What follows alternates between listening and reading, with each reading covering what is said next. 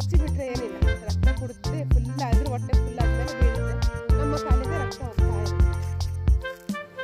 ಇದನ್ನ ಹೆಂಗೆ ಕ್ಲೀನ್ ಮಾಡೋದು ಅಂತ ಹೇಳಿದ್ರೆ ಇದ್ರದ್ದು ಭೂಮಿ ಒಳಗೆ ಹೋಗಿದಂತ ಒಂದು ಬೇರು ಉಂಟಲ್ಲ ಅದನ್ನು ಸ್ವಲ್ಪ ಕಟ್ ಮಾಡಿಬಿಟ್ಟು ತೆಗಿಬೇಕು. ಇಲ್ಲಿ ನನಗೆ ಕಟ್ ಮಾಡಿದ್ದೀನಲ್ಲ ಈ ರೀತಿಯಲ್ಲಿ ಇದೆ ಹಣ್ಣಾಗ್ಬಿಟ್ಟು ಅದೇನೋ ಹಾಳಾಗ್ಬಿಟ್ಟು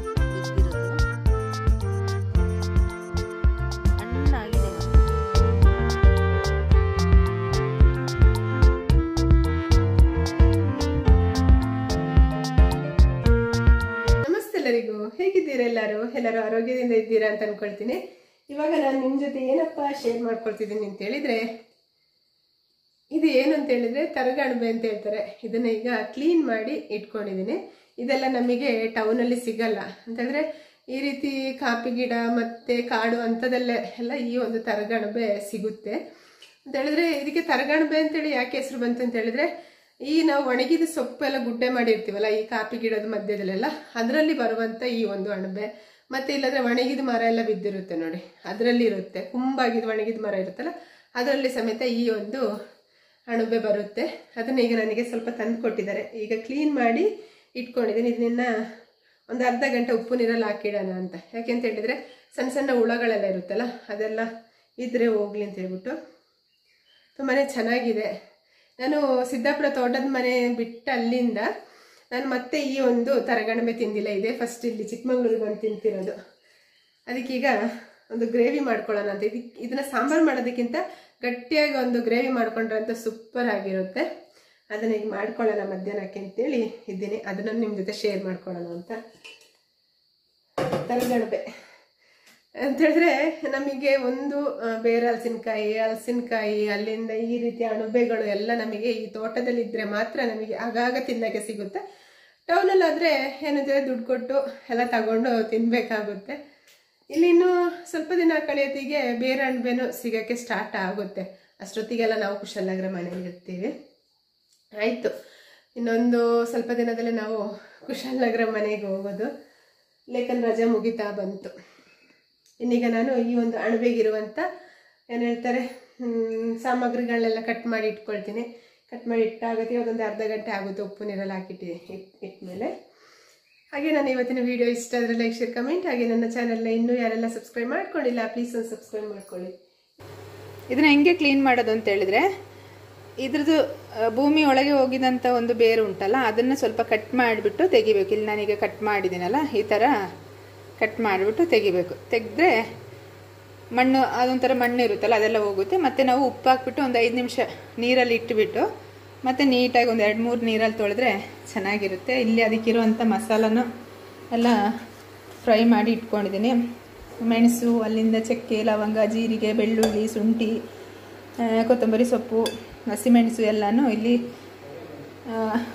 ಎಣ್ಣೆಲಿ ಫ್ರೈ ಮಾಡಿ ಇಟ್ಕೊಂಡಿದ್ದೀನಿ. ಮತ್ತು ಇಲ್ಲಿ ಸ್ವಲ್ಪ ಕಾಯಿ ತುರಿನೂ ಗ್ರೈಂಡ್ ಮಾಡಿ ಇಟ್ಕೊಂಡಿದ್ದೀನಿ. ಮತ್ತು ಅದಕ್ಕಿರುವಂಥ ಈರುಳ್ಳಿ, ಟೊಮೆಟೊ ಹಸಿಮೆಣಸು ಇಲ್ಲಿಗ ಅನ್ನಕ್ಕೇನು ಇಟ್ಕೊಂಡಿದ್ದೀನಿ.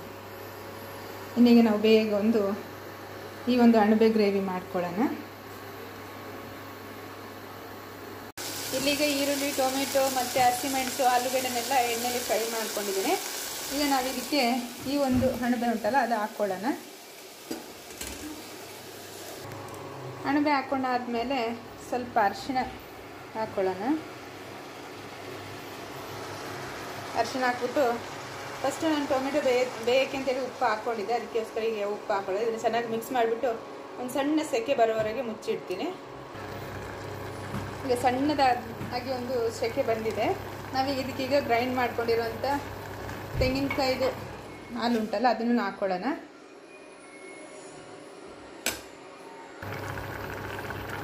ಗ್ರೈಂಡ್ ಮಾಡಿದಂಥ ತೆಂಗಿನ ತುರಿನ ಚೆನ್ನಾಗಿ ಮಿಕ್ಸ್ ಮಾಡ್ಕೊಳ್ಳೋಣ. ಸ್ವಲ್ಪ ಇದು ಈ ಒಂದು ಕಾಯಿ ಹಾಲು ಉಂಟಲ್ಲ, ಅದರಲ್ಲೇ ಸ್ವಲ್ಪ ಹೊತ್ತು ಬೇಯಿದೆ. ಬೇಯೋದಂತ ಹೇಳಿದ್ರಲ್ಲ, ಒಂದು ಕುದಿ ಬಂದರೆ ಸಾಕು.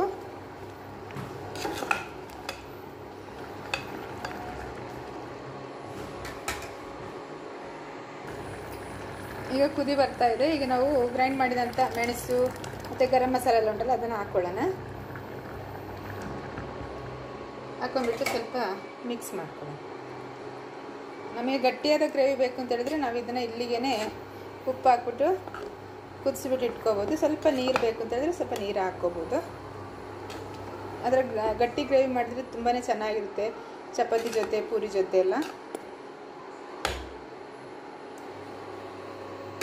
ಈಗ ನಾನು ಸ್ವಲ್ಪ ನೀರು ಹಾಕ್ಕೊಳ್ತೀನಿ ಇದಕ್ಕೆ. ಈಗ ಸ್ವಲ್ಪ ನೀರು ಹಾಕ್ಕೊಂಡಿದ್ದೀನಿ ಇದು ಕುದ್ದಾಗತ್ತಿಗೆ ಸ್ವಲ್ಪ ಗಟ್ಟಿ ಆಗುತ್ತೆ.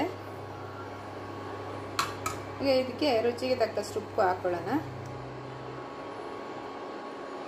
ಇಲ್ಲಿಗೆ ಅಣಬೆ ಸಾರು ಆಗುತ್ತೆ. ಚೆನ್ನಾಗಿ ಒಂದು ಕುದಿ ಬಂದರೆ.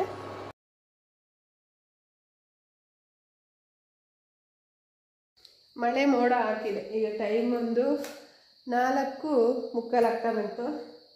ತುಂಬಾ ಕತ್ತಲೆ ಆಗಿದೆ ಈಗ. ಮಳೆ ಬಂದ್ರಂತೂ ತುಂಬಾ ಒಂಥರ ಹಿಂಸೆ ಆಗುತ್ತೆ, ಆಯಿತಾ? ಯಾಕೆಂತೇಳಿದ್ರೆ ಬಂದರೆ ಜೋರಾಗಿ ಮಳೆ ಬರೋದು ಆ ಥರ ಎಲ್ಲ ಇದೆ. ಶೀತ ಅಂತೂ ಬಿಡದ ಶೀತ ಅಂತ ಹೇಳ್ತಾರಲ್ಲ, ಹಂಗೆ ಆಗಿದೆ ನನಗೆ.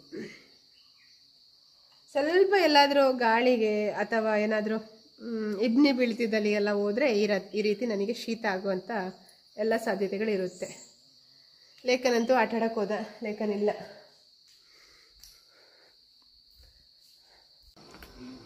ಇಲ್ಲಿಗೆ ಒಂದು ಬೇರೆ ಹಲಸಿನಕಾಯಿ ಬಿದ್ದಿದೆ. ಎಂಥ ಸೌಂಡ್ ಬಂತು ಗೊತ್ತಾ? ಮನೆ ಮೇಲೆ ಶೀಟಿಗೆ ಬಿದ್ದಿದೆ. ಓ ಫುಲ್ ಹಣ್ಣಾಗಿದೆ. ಓ, ಹಾಳಾಗಿ ಹೋಗಿದೆ. ಅಲ್ಲಿಂದ ನೋಡೋಣ, ಹೆಂಗೆ ಉಂಟು ಅಂತ ಈಗ. ಓಪನ್ ಮಾಡಿ. ಈ ರೀತಿಯಲ್ಲಿ ಇದೆ, ಹಣ್ಣಾಗ್ಬಿಟ್ಟು. ಅದೇನೋ ಹಾಳಾಗ್ಬಿಟ್ಟು ಬಿದ್ದಿರೋದು. ಹಣ್ಣಾಗಿದೆ ಮಾತ್ರ. ಅದು ಕೆಳಗೆ ಬೀಳೋದಿಗಂತೂ ಸೌಂಡ್ ಭಾರಿ ಜೋರಾಗಿ ಇತ್ತು. ನಮಗೆ ಇವತ್ತು ಕರೆಂಟ್ ಇಲ್ಲ. ನಿನ್ನೆ, ಮೊನ್ನೆ ಎಲ್ಲ ಜೋರಾದ ಮಳೆ ಬಂದಿದ್ದರಿಂದ ನಮಗೆ ಇವತ್ತು ಕರೆಂಟ್ ಇಲ್ಲ. ಅಲ್ಲಿ ಕೆಳಗೆಲ್ಲ ಕರೆಂಟ್ ಉಂಟಂತೆ. ನಮ್ಮ ಈ ಕಡೆ ಕರೆಂಟ್ ಬಂದಿಲ್ಲ. ಅದಕ್ಕೋಸ್ಕರ ಚೆಕ್ ಮಾಡ್ತಾ ಇದ್ದಾರೆ. ಎಲ್ಲಿ ಕರೆಂಟ್ ಇದೆ, ಎಲ್ಲಿ ಕರೆಂಟ್ ಇಲ್ಲ ಅಂತ ಹೇಳ್ಬಿಟ್ಟು. ಹಂಗಾಗಿ ನಾನು ಬಂದಿದ್ದೀನಿ. ಇಲ್ಲಿ ಹಸ್ಬೆಂಡ್ ಹೋಯ್ತಾ ಇದ್ದಾರೆ. ತೋಟಕ್ಕೆ ಬರೋಕ್ಕೆ ಒಂದು ಹೆದರಿಕೆ ಏನು ಗೊತ್ತಾ? ಅದಕ್ಕೆ ಏನು ಹೇಳ್ತಾರೆ? ಜಿಗಣೆ. ಹಾಂ, ಜಿಗಣೆದೊಂದು ಹೆದರಿಕೆ ಆಯಿತಾ ಜಿಗಣೆ ತುಂಬ ಇದೆ ಇಲ್ಲಿ. ಕಚ್ಚಿಬಿಟ್ರೆ ಏನಿಲ್ಲ. ರಕ್ತ ಕುಡ್ದೆ ಫುಲ್ ಆದರೂ ಹೊಟ್ಟೆ ಫುಲ್ ಆದಮೇಲೆ ಬೀಳುತ್ತೆ. ನಮ್ಮ ಕಾಲಿಂದ ರಕ್ತ ಹೋಗ್ತಾ ಇರುತ್ತೆ. ಈಗ ನಾನು ತೋಟದ ಮಧ್ಯಕ್ಕೆ ಬಂದಿದ್ದೀನಿ. ತೋಟದ ಮಧ್ಯ ಅಲ್ಲ, ಸ್ವಲ್ಪ ಮೇಲೆ ಮನೆ. ಅಲ್ಲಿ ಕಾಣ್ತಿರ್ಬೋದು ನಿಮಗೆ, ಸ್ವಲ್ಪ ಮೇಲೆ ಮನೆ. ಅದ್ರ ಸ್ವಲ್ಪ ಕೆಳಗೆ ಇಳ್ಕೊಂಡು ನಾನು ಹಸ್ಬೆಂಡ್ ಬಂದಿದ್ದೀವಿ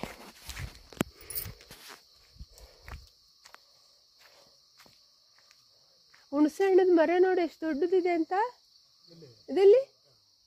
ಅಲ್ವಾ? ಒಂದೇ ಒಂದು ಹುಳಿ ಆಗಿಲ್ಲ ಅದರಲ್ಲಿ?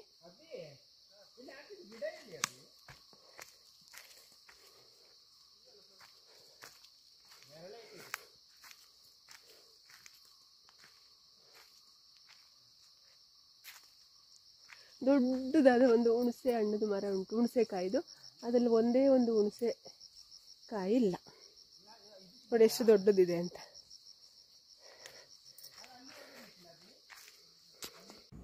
ಹಸ್ಬೆಂಡಿಗೆ ಚಿಕ್ಕಮಂಗ್ಳೂರಿಂದ ಬರಬೇಕಾದ್ರೆ ಮಾವಿನ ಹಣ್ಣು ತೊಗೊಬಂದರು. ಒಂದು ತಿಂದು ನೋಡಿದ್ವಿ. ತುಂಬಾ ಟೇಸ್ಟಿಯಾಗಿತ್ತು ಅದನ್ನು ಈಗ ತೊಳೆದು ಬಿಟ್ಟು ಇಲ್ಲೊಂದು ಪಾತ್ರೆಲಿ ಹಾಕಿ ಇಟ್ಕೊಂಡಿದ್ದೀನಿ. ಮತ್ತು ಸ್ವೀಟ್ ತೊಗೊಬಂದಿರು ಅದನ್ನು ಸ್ವಲ್ಪ ತಿಂದು ನೋಡಿದ್ವಿ. ಇನ್ನಿಷ್ಟು ಸ್ವೀಟ್ ಬಾಕಿಯಾಗಿದೆ ಮಾವಿನ ಹಣ್ಣಂತೂ ಸೂಪರ್ ಆಗಿದೆ. ನಾವು ಚಿಕ್ಕಮಗಳೂರಿಂದ ಬರ್ತಾ ಇರೋತ್ತಿಗೆ ಒಂದು ದಾರಿಯಲ್ಲಿ ಎಲ್ಲ ವೆಜಿಟೇಬಲ್ ಅಲ್ಲಿಂದ ತೆಂಗಿನಕಾಯಿ ಎಲ್ಲ ಮಾರ್ತಾ ಇರ್ತಾರೆ. ಆ ಒಂದು ಅಜ್ಜಿ ಹತ್ರ ತಗೊಂಡಿದ್ದು. ಫಸ್ಟ್ ಅಸಲ್ ತಗೊಂಡಿದ್ದೆ, ಮತ್ತು ತಿರ್ಗಾ ಈಗ ಹಸ್ಬೆಂಡು ಚಿಕ್ಕಮಂಗ್ಳೂರಿಗೆ ಹೋಗಿದ್ರಲ್ಲ ಇವತ್ತು, ಹಂಗೆ ತಗೊಬಂದು. ಟೇಸ್ಟ್ ಸೂಪರ್ ಆಗಿದೆ ಅಂತ ಹೇಳ್ಬಿಟ್ಟು ತಗೊಬಂದರು. ಓಕೆ ಸ್ನೇಹಿತರೆ, ನಾನು ಈ ಒಂದು ಲಾಗ್ನ ಇಲ್ಲಿಗೆ ಎಂಡ್ ಮಾಡ್ತೀನಿ. ನಾನು ಇವತ್ತಿನ ಲಾಗ್ ಇಷ್ಟ ಆದರೆ ಲೈಕ್ ಮಾಡಿ, ಹಾಗೆ ನಿಮ್ಮ ಫ್ರೆಂಡ್ಸ್ ಮತ್ತು ಫ್ಯಾಮಿಲಿ ಜೊತೆ ಆದಷ್ಟು ಶೇರ್ ಮಾಡಿ. ನನ್ನ ಚಾನಲ್ನ ಯಾರೆಲ್ಲ ಹೊಸದಾಗಿ ನೋಡ್ತಿದ್ದೀರಾ ಪ್ಲೀಸ್ ಒಂದು ಸಬ್ಸ್ಕ್ರೈಬ್ ಮಾಡ್ಕೊಳ್ಳಿ. Take care bye